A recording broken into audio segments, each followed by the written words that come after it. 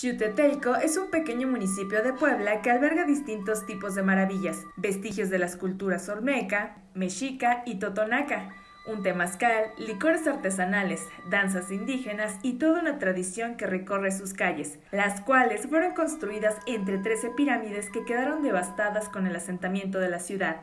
En colindancia con Veracruz, esta localidad de más de 44.000 habitantes esconde distintas riquezas culturales, cuyo rescate ha sido la prioridad de los pobladores durante los últimos años.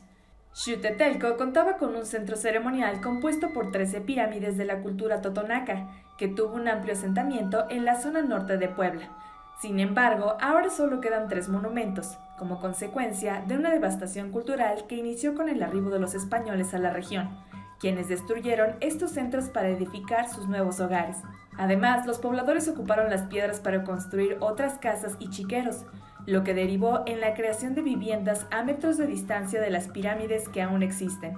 Xutetelco también es rico en otras atracciones, como su temazcal recreativo y curativo, que funciona como un método de medicina alternativa contra enfermedades, por sus aguardientes artesanales, así como por las 15 danzas indígenas que hay en la región. De igual forma, cuenta con un museo comunitario con más de 3.000 piezas arqueológicas registradas ante Lina, halladas en el municipio y los alrededores de las culturas totonaca, mexica y olmeca. Las más antiguas datan del año 3000 a.C.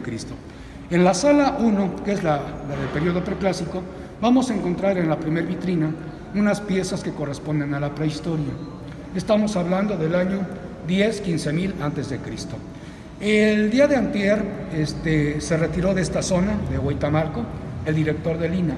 Vino a hacer una investigación porque se encontraron unos petróglifos y otras piezas arqueológicas y una zona arqueológica. Si tu opción es encontrar un espacio dentro de Puebla que te sorprenda, Xutetelco es la opción.